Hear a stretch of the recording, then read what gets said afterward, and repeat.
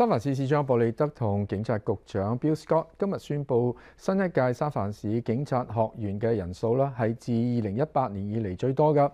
咁布利德話：呢個亦都可能係同舊年將警察年薪增加到超過十一萬蚊有關。朱偉琪再報道。三藩市警察局嘅人手短缺问题似乎有缓和迹象。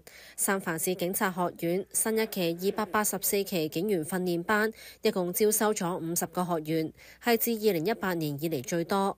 当中女性佔咗兩成二，而族裔方面百分之三十四係白人，百分之三十二係亞裔，其餘嘅係拉美裔同埋非裔等。So to have fifty is a big deal. It is a really big deal. And how we got here, a couple of things. Competitive salaries, you know, thanks to the mayor, uh, President, Lieutenant McCrae, in terms of the contract that our officers have, it is one of the most competitive contracts out there, and the salaries and wages are really, really outstanding. 市长布里德话：警员补充计划希望喺二零二六年达到足够警力。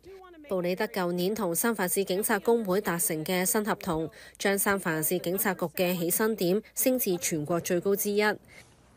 警員嘅起薪點年薪達到十一萬二千三百九十八蚊，吸引其他地區受過訓練嘅警察轉任，同埋加快招聘流程，同埋縮短學員嘅招募時間。